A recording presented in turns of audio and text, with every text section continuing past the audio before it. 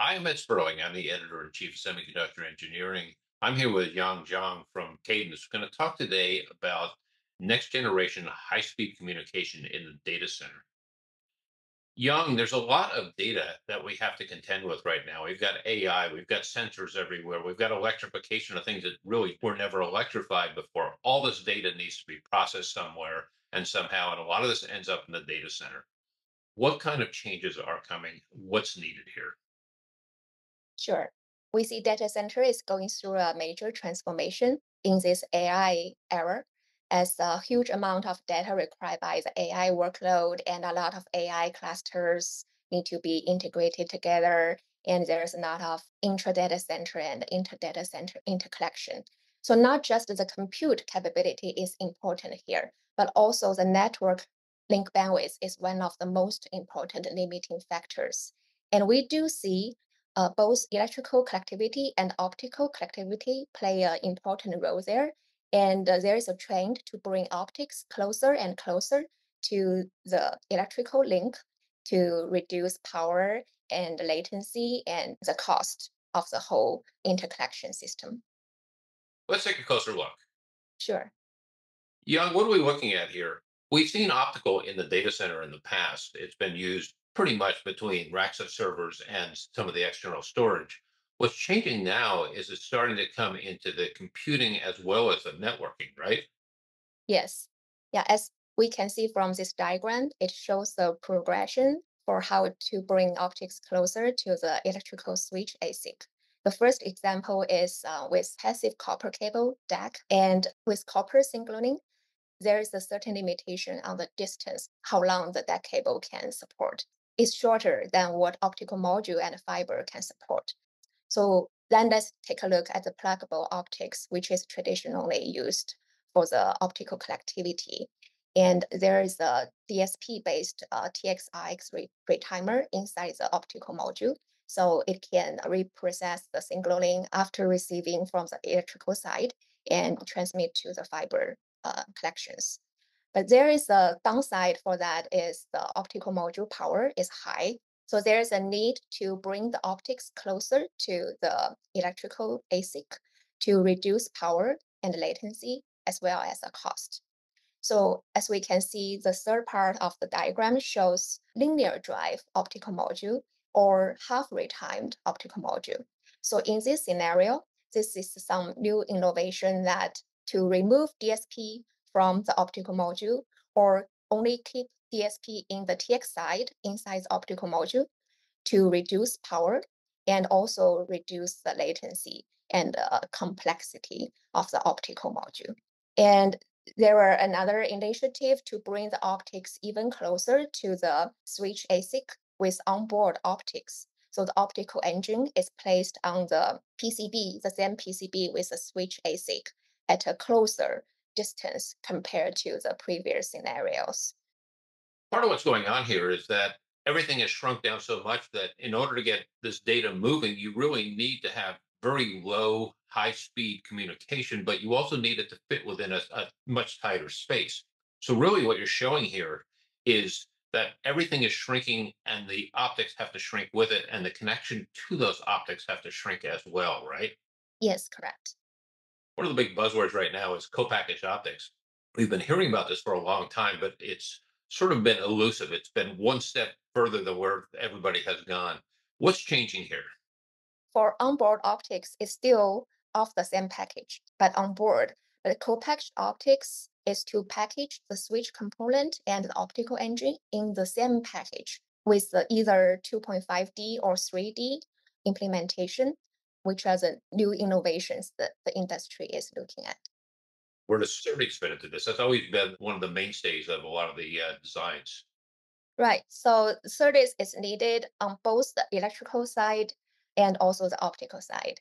So as you can see here, the orange line shows the interconnection between the electrical and optical, and it really needs SerDes to do this interconnection.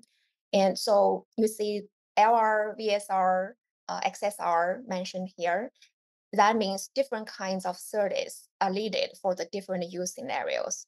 For example, with copper cable, the LR long reach SerDes is needed because it needs to support a high insertion loss through the DAC cable and to the other side of the switch ASIC. And with optical module, since optical module, it has a DSP inside, so the interconnection stops at the optical module and it has shorter distance. And VSR, or we call it chip to module SerDes, can support that. Um, but if it goes to the linear drive or half linear optics, since um, it needs a longer reach support uh, at the RX side, so still LR SerDes is the right option here. And with optics moving closer, closer to the switch ASIC, like onboard optics and co-packaged optics, then the short reach SerDes, XSR, extreme short reach SerDes is needed here. So we can see with optics closer to the electrical switch ASIC, the SerDes technology has different requirements here. Optics is sort of a generalized term, though, right? Because there are really different types of optics that people are looking at. Right. So in the previous slide, we saw there were different kinds of optical module, uh, retimed pluggable optics or linear pluggable optics or linear retimed optics. So there's also a trend to use half retimed, half linear uh, optics, which is so-called LRO, linear retimed optics, or some company call it a TRO, transmit retimed optics. So the difference between LPO and LRO is the LRO still keep retimer inside the TX. So it still has a DSP retimer capability in the TX and goes to the uh, laser driver and goes to the optics. But on the RX side, there's only TIA to collect optical to electrical and goes to the switch ASIC. So the purpose of LRO is it has better signaling compensation capability since it still has retimer in TX. And it also reduces the power significantly compared to the traditional retimed pluggable optics. And when you think about a data center, they're always going to be pushing for the latest and greatest of this stuff, right? Yes, correct. Is one faster than the other, one better than the other, or is there different uses for each one? So right now, retimed pluggable optics can go up to 1.6T, and LPO, linear pluggable optics, also goes towards there. We see companies published 800G or 1.6T LPO. However, to support 1.6T, it requires 200 gig per lane data rate. So LPO, by removing, completely removing the retimer, it may have a limitation on support such high data rate. So there's still a debate between LPO and LRO on which one we should adopt for the 200 gig per lane interconnection. What's the real difference between each one of these? So the difference is about whether DSP retimer is used in the optical module and the difference in power, latency, and cost associated with that. Also, the SerDes technology will be different for these different scenarios. For retimed pluggable optics, since it has retimer inside the optical module, on the switch side, VSR, very short reach chip to module SerDes is needed. And for linear pluggable optics, LPO, it doesn't have retimer on the optical side. So in the switch ASIC, long reach SerDes is still needed.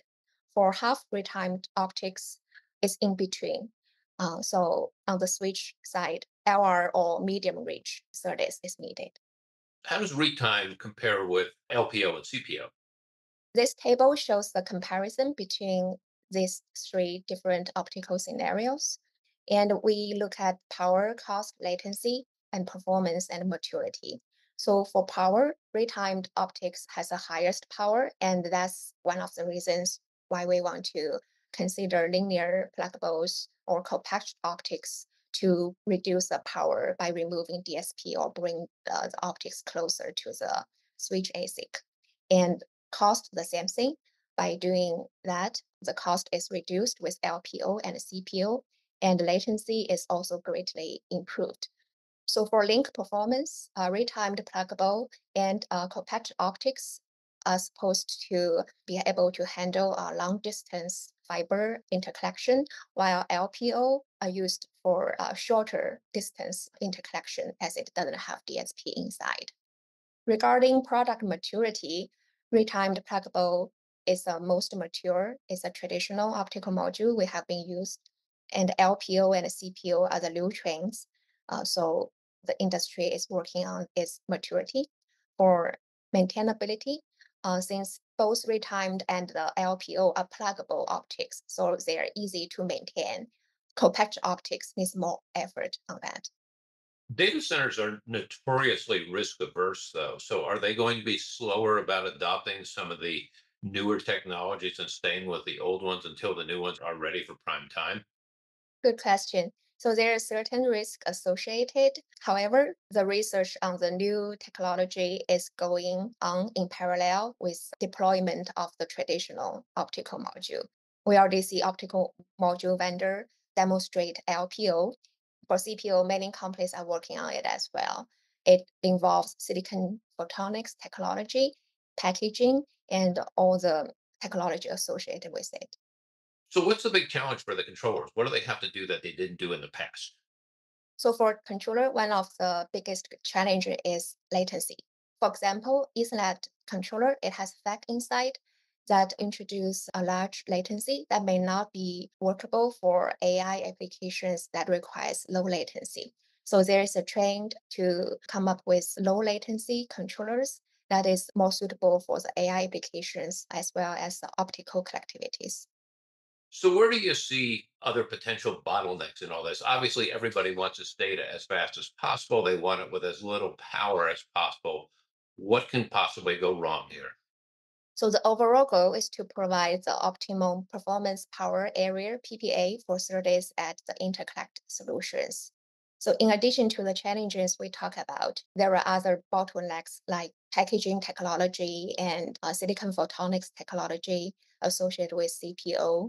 Those are all new things that the industry is working on and to see what the best solutions could be there. Think about a data center. It's always been about solving wherever the blocks are. How do you move data through fastest? How do you do it with the least amount of power? How do you cool this stuff? What's the least amount of energy? What's the least amount of heat within a reasonable amount of money that you are going to spend to develop this stuff? We're at that crossroads now where we've got all this these different things that are coming at us. We've got a lot of new technologies, things that have to catch up, things that are moving at uneven speeds where do you see this going over the next few years? Is co-packaged optics going to become the norm? Is it going to become more important as we move into 3D ICs and potentially different packaging options? We see certainly there's a possibility for co-packaged optics to have more and more maturity and deployment. It will take some time, but it's a new trend uh, for the future. And in the meanwhile, LPO and traditional retimed pluggable optics will still be used in deployment. The goal here is to speed everything up at almost orders of magnitude improvement in performance, lower power. Optics are going to be a key piece of that, right? Yes, correct.